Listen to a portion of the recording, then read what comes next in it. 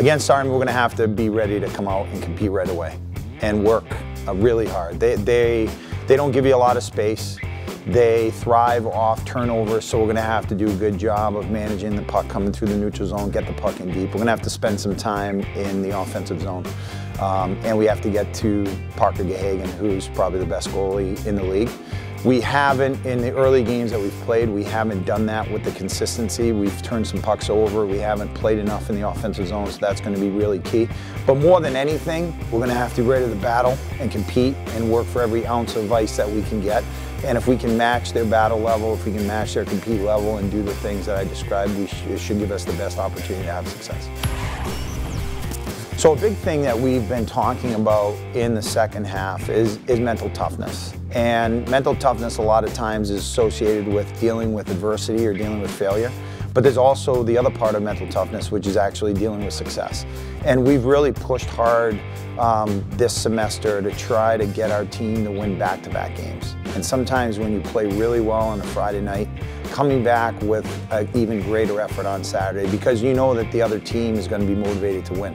And we've been able to sweep a couple of weekends after winning on a Friday night, but it's something that you're going to have to do in the playoffs. If you're going to win a best two out of three, you're going to have to win two games. So trying to develop that resiliency, trying to develop that hunger and that drive to do it again is something that we've talked a lot about, and we've been able to kind of see it through a couple weekends ago.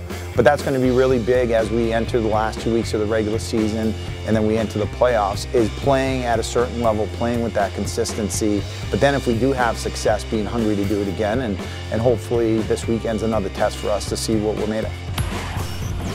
So first star of the week is uh, my friend Jim Roble. Uh, Jim is one of those guys, he's our sports information director, but he's one of those guys that's clearly entrenched behind the scenes. Um, he is integral to our program. He's probably the most passionate uh, Holy Cross hockey person that I've ever met.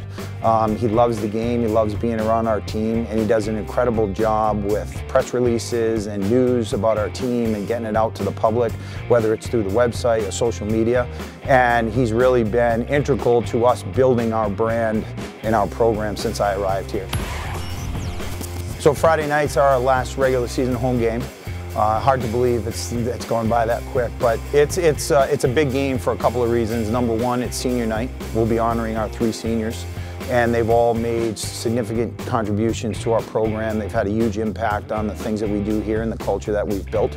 Um, but it's also a, a key matchup in, in the, as far as the standings are concerned. Army currently sits two points ahead of us. We're fighting for a first round bye. We're fighting for home ice in the second round of the playoffs.